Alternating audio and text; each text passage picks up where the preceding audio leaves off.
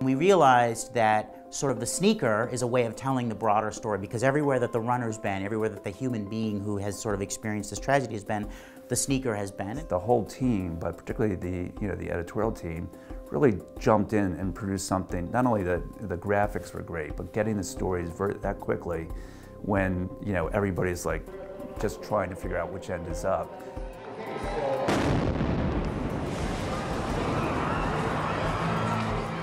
Heard a couple of booms. Uh, Boston Magazine is located right across the street from Symphony Hall, so it's really not very far at all from the Boylston Street um, finish line. And we immediately started getting some reports from people that we had near the finish line, uh, letting us know that there had been some kind of an explosion. I, I had no idea, so the instant I walked into the office was when I really found out that there had been a bombing. Many of the people that work on our editorial staff were native Bostonians or, or from the area and were grieving themselves and, and, and really um, suffering through the kind of enormity of this moment at the same time they were trying to do this work.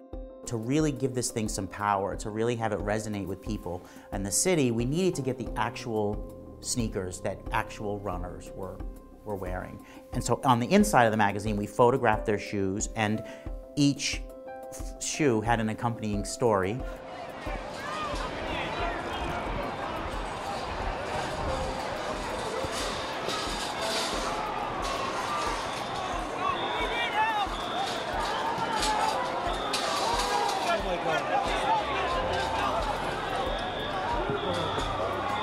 where do you come up with 70 plus pairs of sneakers in 72 hours uh, from a bunch of people that you don't have any way of contacting? So the entire magazine, not just the edit staff, the sales department, marketing, Rick, uh, everybody in the magazine pitched in.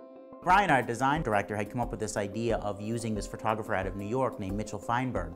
So after we had our hands on all the shoes, Brian threw them into some, some, uh, some trash bags and threw them in his car and drove down to New York. Uh, he, he, drove all, all, the hours, got down there, and as soon as he got there, they started laying out uh, the shoes and uh, right down to like the placement of the laces. And if you'll notice on the cover, uh, it's easy to miss, but it's beautiful when you see it. They're the sort of red at the center of it, and then it radiates out different colors. They sat there one by one by one, flipped, flipped them all over, and they took the soles. They shot it all over the course of the night. And then Brian threw the shoes back in the car and drove them up back to Boston uh, literally on the last day. You know, we opened the door, helped him carry out the hefty bags of, of shoes and into the um, office and put them aside because John and Brian had to like rush up, get, get the cover design. Most important to all of us is we just kept hearing from people within the city, from our readers, just how they felt that it captured uh, an element of healing. When you see the cover instantly, you, you, you got it. You got, okay, we're coming together. Um, you know, this is, Boston's a tough city, but we're also, you know, we're in this together and we're, we're going to prevail. I feel like in many ways we, we were fortunate to be in a position to tell a story like that that we hope was helpful to the city. It remains the thing that I've done in my career that I'm certainly the proudest of and, um, and I was just fortunate to have that opportunity.